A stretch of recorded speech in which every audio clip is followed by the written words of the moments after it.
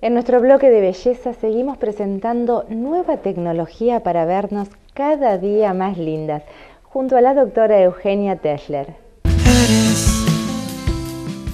Doctora, buen día, ¿cómo le va?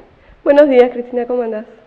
Bueno, hay nueva tecnología aquí en la clínica y nosotros queremos toda la información porque se trata del Vector RF, un nuevo equipo que va a revolucionar el mercado del rejuvenecimiento, ¿verdad?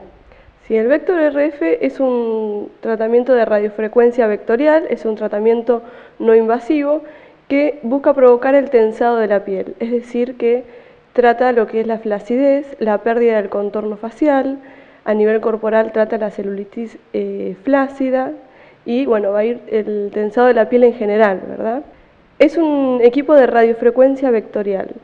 La radiofrecuencia trabaja a través de calor, provocando un calor profundo en la piel que llega hasta la dermis, que es la capa más profunda de la piel, que es donde se encuentran las fibras de colágeno.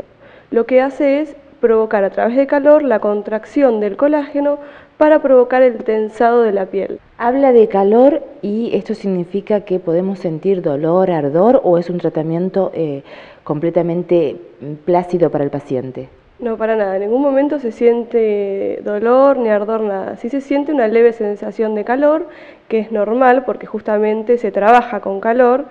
Después de la sesión eh, se puede ver la zona levemente eritematosa, es decir, colorada, pero es normal del tratamiento. Se usa tanto a nivel facial, en el rostro, o sea, en la misma sesión igualmente se trabaja todo lo que es el rostro completo y el cuello, como a nivel corporal. Las sesiones del Vector son semanales, sí depende de, la piel de cada paciente.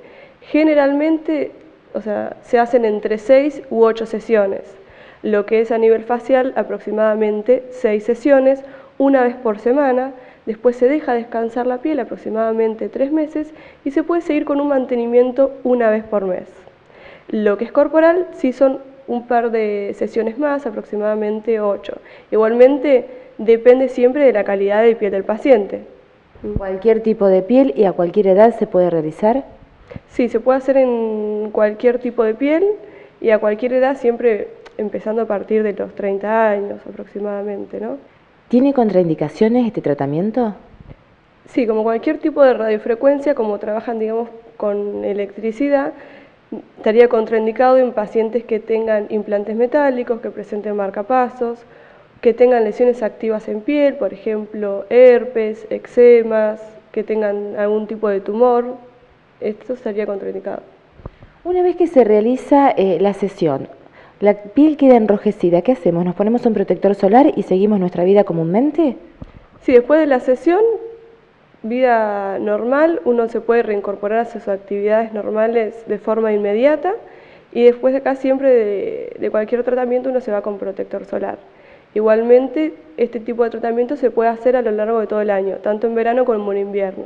Quiero recordarles a los pacientes que nosotros contamos también con el otro equipo de radiofrecuencia para los pacientes que venían siendo usuarios de la radiofrecuencia Reaction, que estamos trabajando con las dos. ¿Mm? Bien, las diferencias eh, son muy específicas del equipo, pero los resultados son los mismos. Los dos tienen excelentes resultados. La radiofrecuencia anterior, la Reaction, que todavía la seguimos usando, por supuesto, es una radiofrecuencia bipolar que se hace una vez al mes, que da excelentes resultados, pero quizá en comparación con la Vector RF, que las sesiones pueden ser semanales, uno ve el resultado más rápido. Es decir, uno al mes ya casi está terminando el tratamiento y ya ha logrado el resultado. Y eso siempre es lo que buscamos, en poquito tiempo vernos más lindas. ¿No es cierto? Doctora, muchísimas gracias. De nada, muchas gracias a vos.